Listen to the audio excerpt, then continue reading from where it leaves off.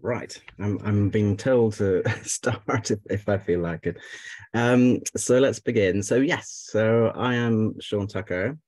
Uh, I am professor of late Roman and Byzantine history at Cardiff University. It's uh, nice to see so many people coming along to this session and see some familiar names. Um, shout out to Margaret Mullett there, who taught me in Belfast uh, as an undergraduate. Um, so it's uh, it's a great pleasure to be here. Um, and by this stage, you all know the format. So I'll be introducing our author today. Um, just a reminder that um, we'll be taking questions in the Q&A. Um, so just type them in there. So keep microphones off.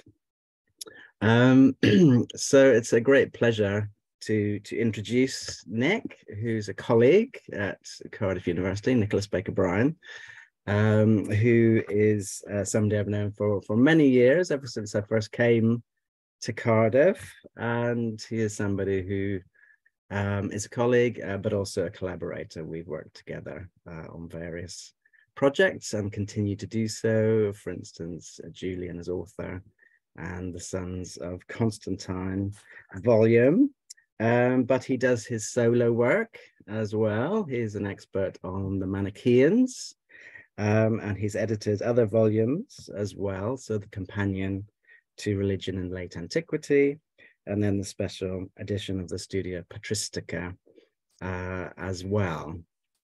Um, so we're here uh, today to focus on his book on Constantius II, um, and Constantius II is, is somebody I find fascinating for a long time anyway. Uh, so, so it's great to see a book devoted to him.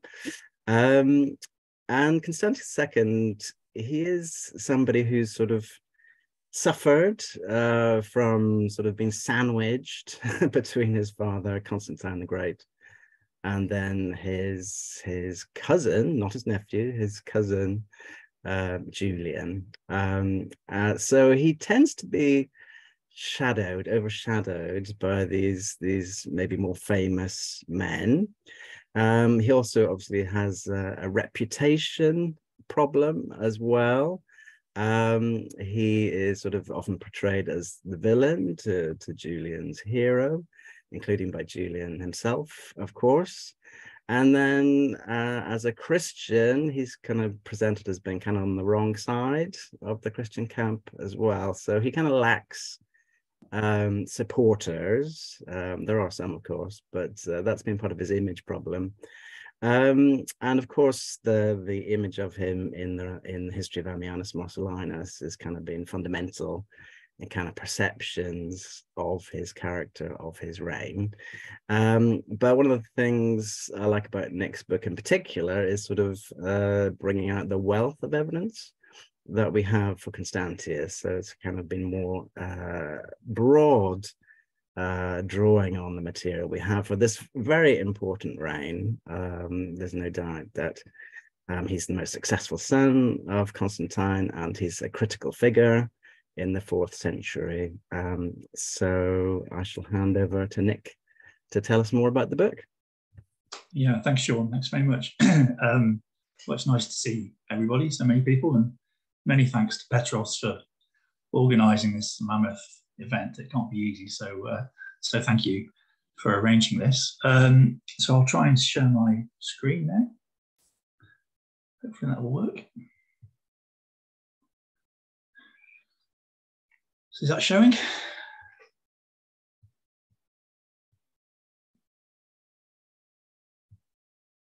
Can you can you all see that? Okay. Yeah. Okay. So um, yeah, what's what's the book about really? So it's it's called the um, the reign of. Uh, so I seem to have got a glitchy camera for some reason. Let me just turn it off and come on again. Okay, let's try that. So it's called the reign of Constantius II, and um,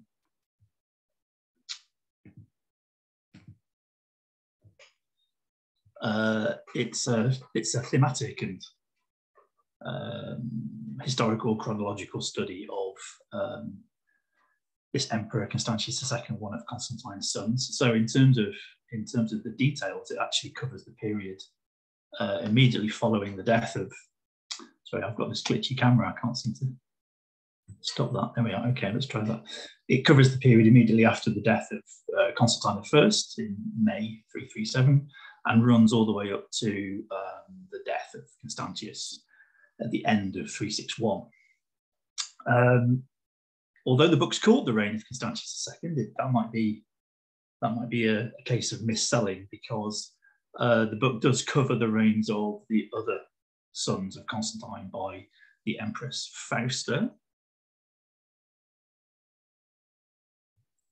Um, including the eldest son, uh, Constantine II, whose reign was very brief. Um, he died in uh, 340 during a, a, a poorly documented and, and, poorly understood conflict with uh, the younger son, Constans.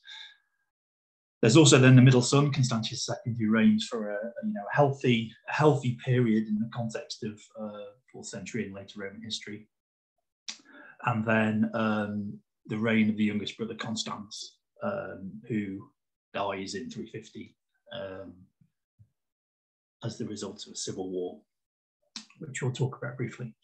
So, um, although three, the three sons do get coverage in the book, uh, Constantius II predominates primarily because he's the longest reigning uh, emperor, and uh, the sources are perhaps um, the richest um, I've just turned my camera off slightly, Shaun, because it's it's it's it's glitching. It's uh, it's putting me off slightly.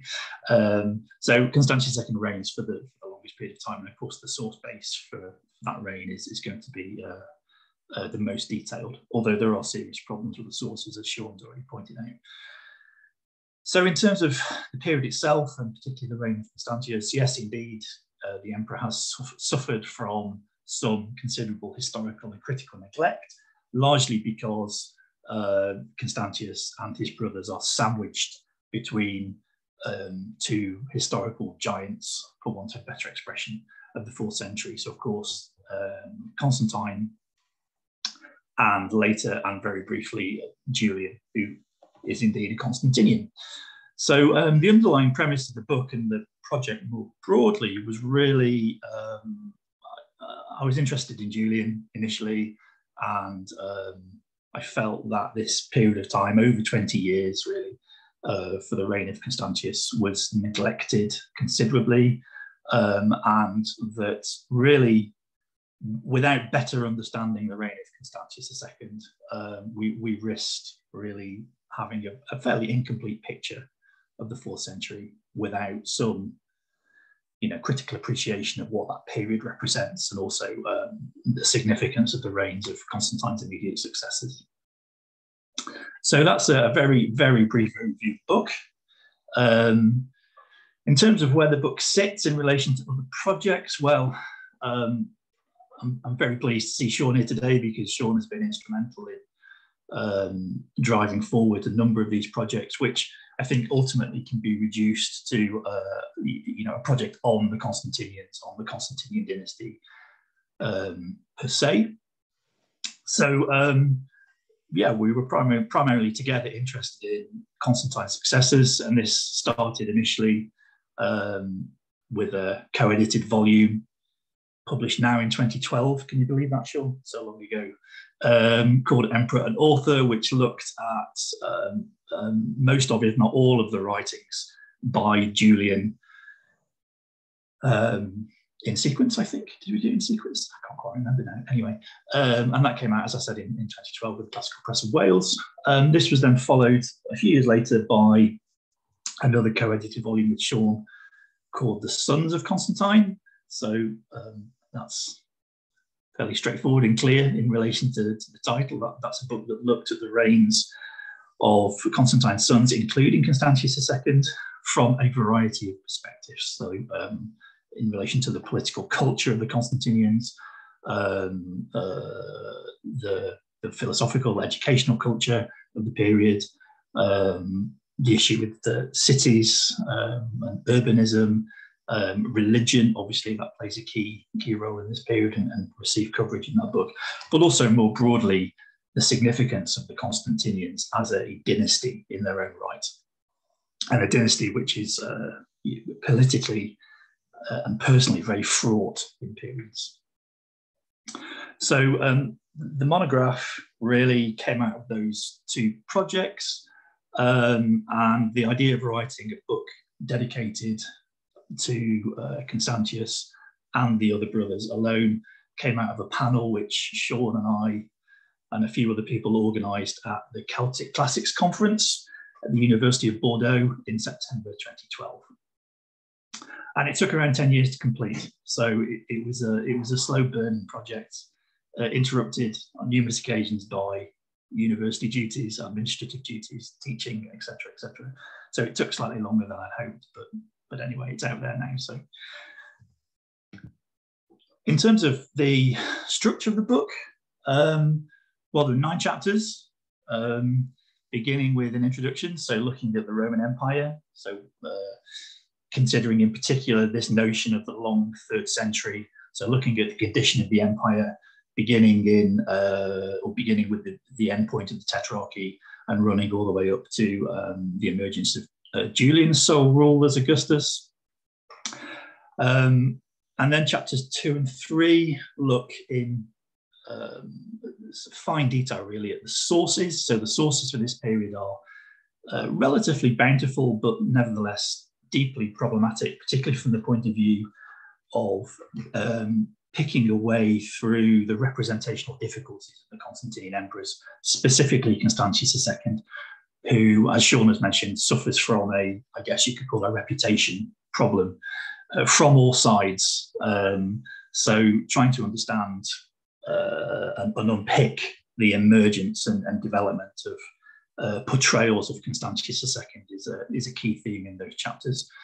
Um, chapter two looks in some detail at material culture, I guess, um, specifically coinage. And there's a nice example of one of the famous uh, Fel Temp Rep, Felix Temporum Reparatio, literally something like the return of the good times coin from the 340s, which were very significant for that period.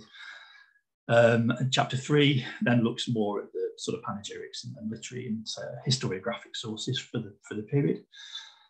So then chapter four um, looks at or considers the dynastic context for the Constantinians, uh, the way in which Constantine I created a dynasty, I guess you could say, uh, and all the perils and pitfalls that emerged in the period following his death, not least the fact that his sons appear to have rejected his own dynastic settlement.